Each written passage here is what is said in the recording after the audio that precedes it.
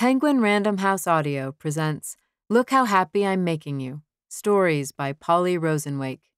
Read for you by Rebecca Lowman, Julia Whelan, Karissa Vacker, Amanda Carlin, Tara Sands, and Cassandra Campbell. Grow Your Eyelashes.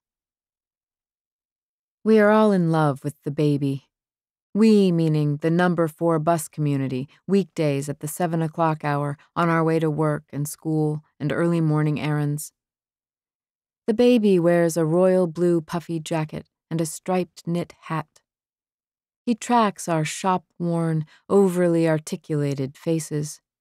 Despite how we caper, tilting and bouncing our heads, scrunching our lips and wriggling our noses, working our hands into frantic waves, the baby gazes at us with his grave baby face. He is Cherry with his baby gift of a grin, a palm in the air, a mimic, obliging just often enough to lend hope to our campaigns. The father is charming, an early 30s smiler with warm eyes and skin. Perhaps South American, his soft voice generous with the vowels. Strapped to the father's chest, the baby flaps his arms. There is something of a bird in him, both cautious and confident, something of a bird and a sad little clown and a medicine man, and all of the possibilities that are open to a baby. We look at him longer than we would look at anyone else we don't actually know, and he will not say or even think that it is rude to stare. I say that we are all in love with the baby, but probably there is someone on this bus who is not. Probably someone looks out the window or at the affable father or at her own lap and thinks, God damn that baby. This person is not swayed by the miniature hands, the swollen cheeks, the exploratory chirps, not swayed by this new human, welcomed as if he belongs to all of our delicate hopes and magnanimous impulses. As other faces soften, she hardens hers, I am willing to believe that there is such a person in our cozy bus community, with the chatty women and the tenderly grizzled men, and the driver who says, So long, little guy, when the baby leaves, borne aloft by his father. We are trying, my husband Kevin and I. If only that meant we were trying to teach a monkey to do sign language, or trying out this new robot that cleans bathrooms, or trying to save the world, one polar ice cap at a time. But when you are a childless couple in your mid 30s with two full time jobs and a three bedroom house, everyone knows what trying means. Making love, we used to think penis or breasts, vagina or balls. Thought them hard as the dependable pleasure things they were. Then we thought baby, almost sexier than sex for sex, a mystery beyond tit for tat physical love. We thought not quite sperm and egg, those clinical, unlovely words, but something like seed, pearl, embryo, pregnant, fetus, heartbeat, fingers, toes, belly bump, love, genius, baby. We have been thinking this baby into limbo existence for 11 months now. The baby isn't coming. The baby is perched somewhere, her fist in her fierce, dainty mouth. I picture her the way Christian children are taught to think of babies God hasn't released from heaven yet. A peck of them, fully formed and squeaky clean, enthroned in clouds, parents, an unnecessary earthly contrivance.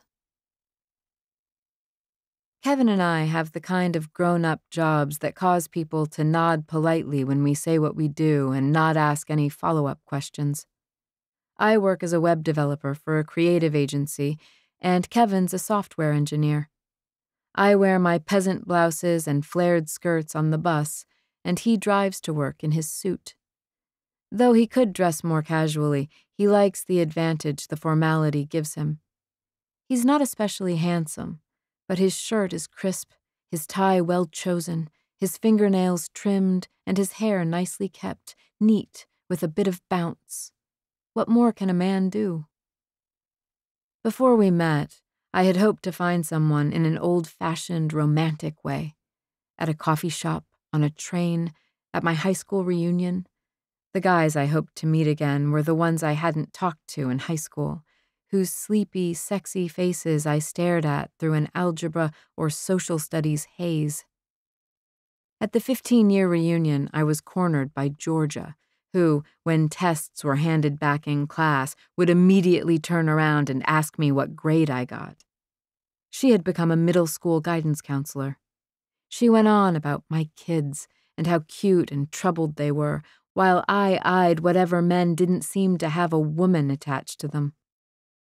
The only one I talked to smelled like sardines and laughed when I said things that weren't at all funny. After that, I gave up and went online. At first, the array of men was like the lure of the grocery store at midnight shelves piled high with shiny goods until you look closer and realize they're all filled with corn syrup. But Kevin didn't try to market himself with a glossy sheen.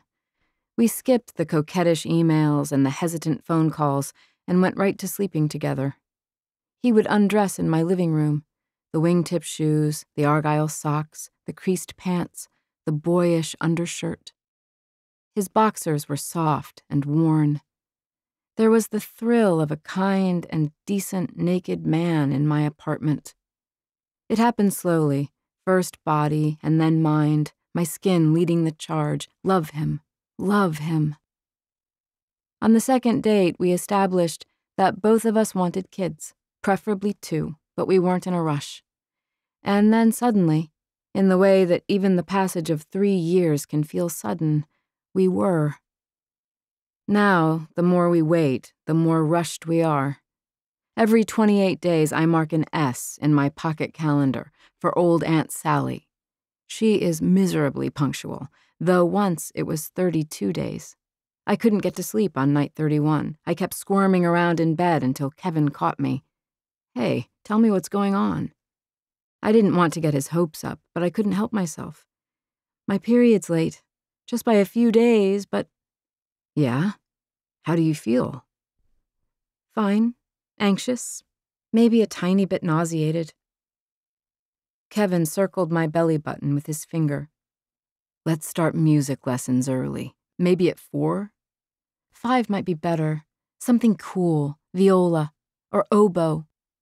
Oboe? Are you crazy? Piano. Pianos don't squeak. Anyone can play the piano. Are you saying our kid would be just anyone?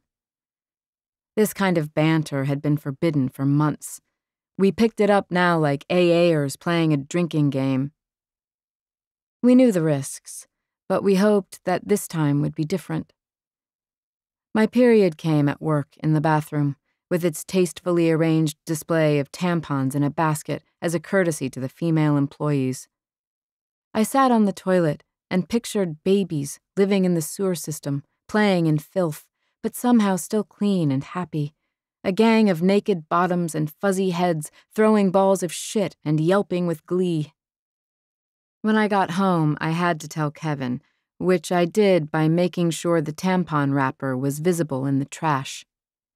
We held on to each other for a while, and then we splintered off into our depressive habits. He read a million Amazon reviews for some dumb little thing we needed to buy, and I mapped out elaborate routes and accommodations for exotic trips we weren't going to take. One Saturday, I make the mistake of going to the mall. My sister's birthday is in a week, and I'd like to send her an interesting piece of clothing. Just inside the mall's entryway, I'm greeted by a woman on a sign, a beautiful woman, though not high cheekboned, sultry lipped, stone cold beautiful. The idea is, she's the kind of beautiful I might be if I tried harder and listened to the voices that are trying to help me. Grow your eyelashes, this voice says. There is, apparently, a scientific formula for it. The eyelashes on the woman who could be me look noticeably mascara laden, but they're not crazy long. Perhaps my doppelganger is just about to call the phone number presented here. She knows her eyelashes are okay, but that they could be even better. She is on the verge of possessing the eyelashes she's always wanted, not falsies, but real ones, cultivated from her very own eyelids. Inside the mall, I go from store to store looking for something worthy of my sister Audrey, who has set up her stylish life just the way she wants it, in her mid century modern house with her husband Jeff and their two chickens. Patsy and Cline have a coop in the garden where they take daily strolls through the sweet alyssum, nodding agreeably. When they want company, they press their beak. We hope you enjoyed this preview. To continue listening to this audiobook on Google Play Books, use the link in the video description.